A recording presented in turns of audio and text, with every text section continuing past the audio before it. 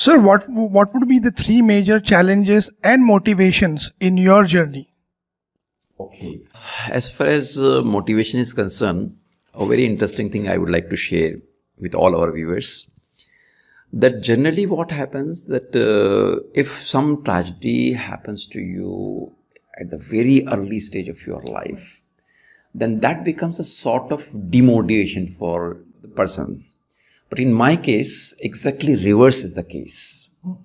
There was a sense of responsibility in me that uh, nobody should blame and nobody should say that uh, if somebody's uh, mother dies and see that person cannot continue his education and so many odds he has to face and all that. So I thought uh, that somewhere I should break this tradition.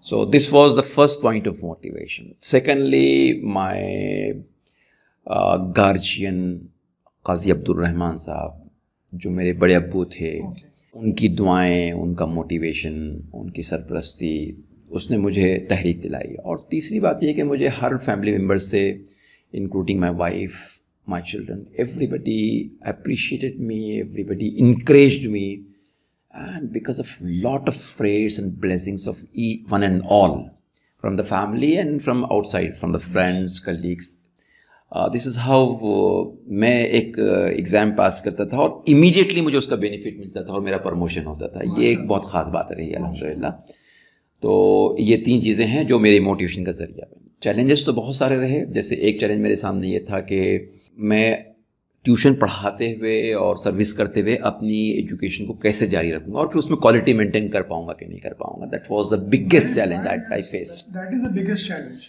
Uh, but anyhow, one thing is definite. If uh, you are intrinsically motivated, अगर आप अंदरून से एक ख्वाहिश रखते हैं एक जज्बा रखते हैं तो फिर आप स्ट्रगल करते हैं। और स्ट्रगल करने के बाद जब आप बन कर निकलते हैं निखर कर निकलते हैं कुंदन बन कर निकलते हैं तो आपको एक तरीके से एक एहसास होता है सेटिस्फेक्शन मिलता है कि हाँ मैंने कुछ किया अल्लाह ताला का शुक्र एहसान है।